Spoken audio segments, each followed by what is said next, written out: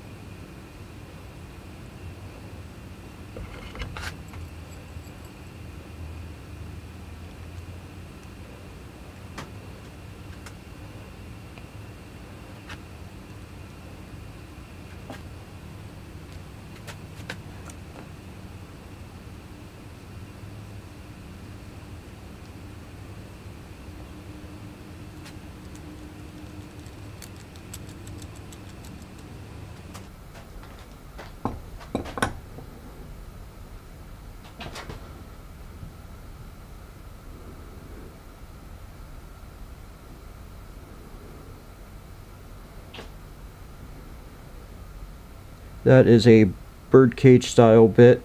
It's just a four-sided pyramid. They used the same stuff on, or same design on a birdcage awl, which is very good for, they used to be made to actually drill through material. And it doesn't matter which way the drill turns or the awl turns, it always cuts.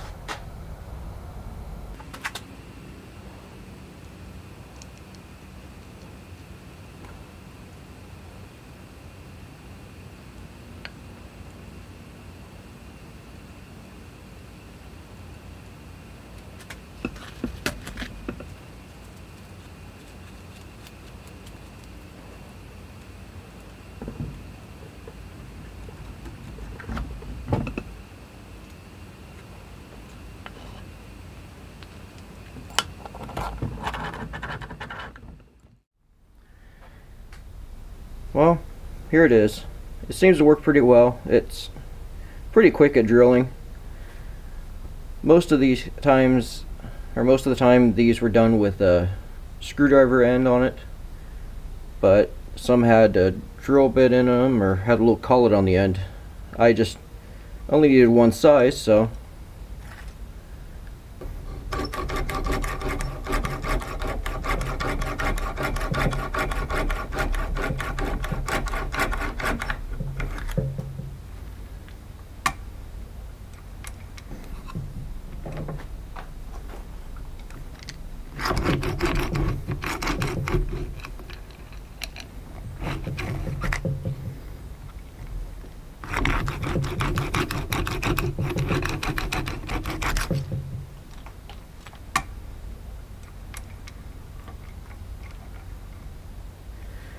Okay.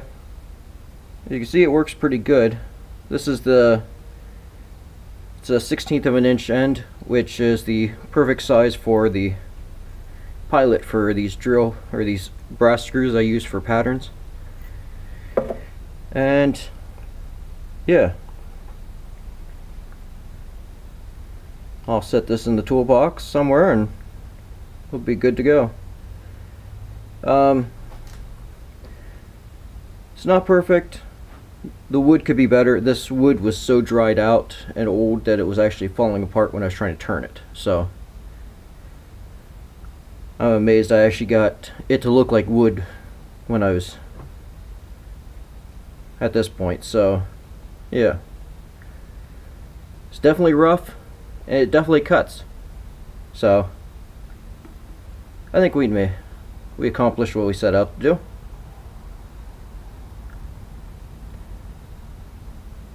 Alright. This is going to be my other entry for Emma's toolmaking event, uh, Rough Cut 2022. So, thanks Emma for hosting the event. Uh, but as for now, though, it's getting late, so I'm going to head in and try editing all these videos. Thanks for watching. See ya.